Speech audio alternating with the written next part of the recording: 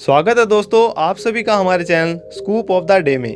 तो दोस्तों, हम सभी जवान तो होना चाहते हैं, लेकिन हमें ऐसे फ्रूट्स और वेजिटेबल के बारे में कभी नहीं पता होता जो हमें जवान बनाती हैं। तो दोस्तों, आज हमारी वीडियो इसी विषय पर होने वाली है कि कौन से फ्रूट्स ऐसे हैं जो हमें जवान बनाते हैं। तो दोस्तों, बने रहिए हमारे साथ और देखते रहिए scoop of the day.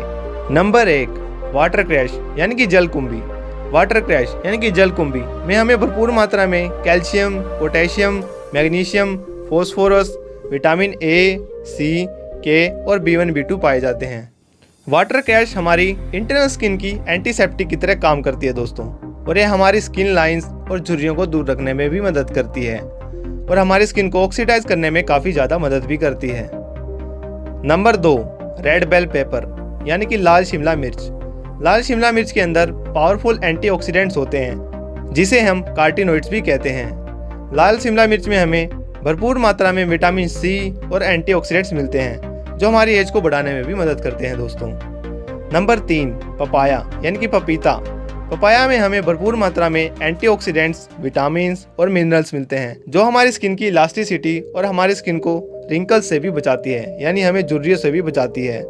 आइए देखते हैं डॉक्टर्स भी पपाया खाने को क्यों कहते हैं। पपाया में हमें दोस्तों विटामिन ए, सी, के और ई मिलता है, और इसी के साथ दोस्तों इसमें हमें calcium potassium, magnesium, phosphorus, vitamin B भी मिलता है और पपाया इजीली डाइजेस्ट हो जाता है। इसलिए हमारे डॉक्टर्स भी इसे खाने के लिए कहते हैं दोस्तों।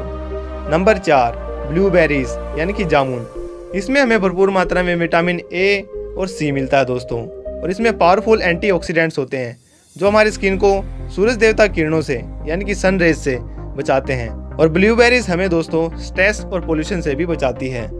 नंबर पाँच ब्रोकली, यानी कि हरी फूल गोभी ब्रोकली को पावर हाउस पैक्ड फ़ूड भी कहा जाता है दोस्तों, क्योंकि इसमें भरपूर मात्रा में विटामिन सी और के होता है दोस्तों, और इसके अंदर हमें अल्फ़ा वैरायटी ऑफ़ एंटीऑक्सीडेंट्स मिलते हैं, और यही हमें भरपूर मात्रा में इसमें फाइबर लूटीन फोलेट और कैल्शियम भी मिलता है। और दोस्तों, ब्रोकली हमारी स्किन की स्ट्रेंथ और इलास्टिसिटी के लिए भी बेस्ट है। नंबर छः स्पिनिच यानी कि पालक। स्पिनिच एक सुपर हाइड्रेटिंग फ़ूड है दोस्तों और इसमें हमें भरपूर मात्रा में विटामिन ए विटामिन सी ई और के मिलता है। यही नहीं दोस्तों, इसमें हमें magnesium plant based heme iron और लूटिन भी मिलता है। और यही नहीं दोस्तों पालक हमारी स्किन को फर्म और स्मूथ भी बनाती है और यह हमारे बालों को स्ट्रॉन्ग और शाइनी भी बनाती है। नंबर सात नट्स नट्स हमारी स्किन टिश्यू और लेटिन स्किन मॉइस्चराइजर और हमारी स्किन को यूवी रेज के डैमेज से भी बचाती है। नट्स हमारी स्किन के सेल मेम्ब्रेन को भी स्ट्रेंथ देता है और हमें सनबर्न और हमारी स्किन के ऑयल को बैलेंस करने में भी हेल्प करता है। नंबर आठ, एवेकेडो। मैक्सिमम पैदा होने वाला एक नाशपाती जैसा फल दोस्तों। एवेकोडो में हमें high inflammation fighting fatty acids मिलते हैं, जो हमारी स्किन को चिकना और कोमल बनाते हैं। एवेकेडो में हमें ऐसे न्यूट्रिएंट्स मिलते हैं, जो हमारी स्किन को एजिंग होने से बचाते हैं दोस्तों। एवेकोडो में हमें भरपूर मात्रा में विटामिन के सी ई ए और बी मिलते हैं दोस्तों। और इसमें भरपूर मात्रा में पोटेशियम भी होता है दोस्तों। और दोस्तों, यही नहीं, इसमें हमें भरपूर मात्रा में विटामिन ए मिलता है, जो हमारी डेड सेल्स को रिपेयर भी करता है।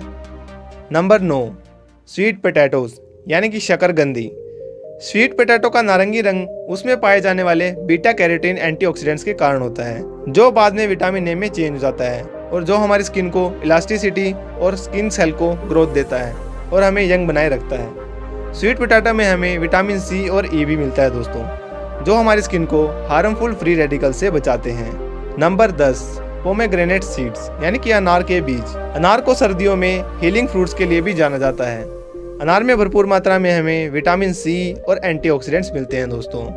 अनार हमें इन्फ्लेमेशन रिड्यूस करने और हार्मफुल फ्री रेडिकल्स के डैमेज से भी बचाता है। और अनार को स्लो एजिंग के लिए भी बेस्ट माना जाता है दोस्तों। अगर आपको हमारी वीडियो अच्छी लगी तो जान से पहले हमारे चैनल स्कूप ऑफ़ डे को सब्सक्राइब करना ना भूलिए।